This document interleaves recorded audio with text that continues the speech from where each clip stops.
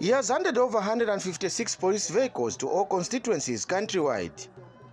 President Haga Hakainde Hichilema handed over the vehicles in Lusaka in a bid to enhance mobility for police officers as they maintain security across the country. The vehicles have been bought under the 2023 Constituency Development Fund, CDF. My message to the Inspector General of Police, the command structure, is that now with these vehicles, we should be able to respond to the call from the communities to maintain law and order. Again, part of the decentralization, local communities. I didn't say calls from Lusaka, calls from State House, calls from Minister's office. I am saying calls from ordinary members of the community. When they call, we can't now say, kulibe motoka. Ah, mamotoka haya. Public litaona tonse, aliko mamotoka. And President Hichilema has urged politicians to be responsible and practice decent politics. The law does not recognize who is the leader of a political party. The law does not recognize who is what. The law simply recognizes a human being who should operate within the rule of law. You transgress the law. Do not cross lines.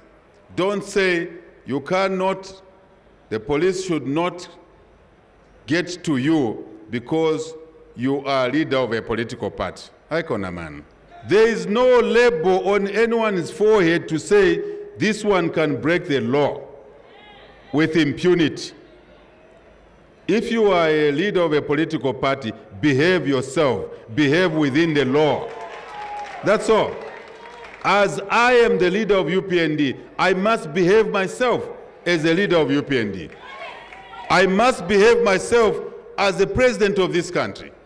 I must lead by example. The police vehicles have been handed over in a similar manner with 156 CDF monitoring vehicles, which were handed over at the same venue, the Lusaka Showgrounds, last year.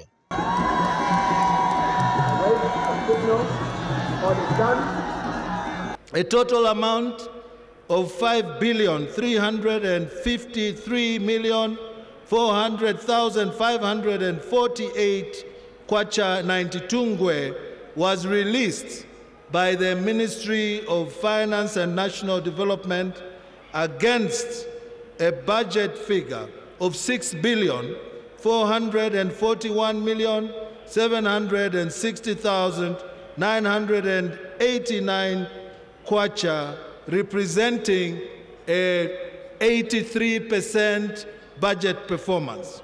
The police service is not shy to affirm that the enhanced CDF is not only a flagship program of the New Dawn United Party for National Development government, but is a game changer. I have no doubt that these new vehicles will significantly improve the mobility in the police service and also enhance the response time by our police officers deployed on the ground.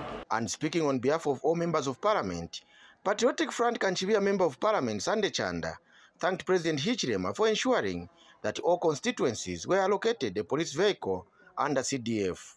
Mr. President, those of us with a gift of knowledge and wisdom understand that under the face of the earth there is time for everything.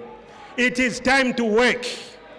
The 156 vehicles we are receiving today, Mr. President, will go a long way in improving security in our constituencies. Students, chiefs, members of parliament and ordinary Zambians witnessed the handover. Paul Shalala, ZNBC News in Lusaka.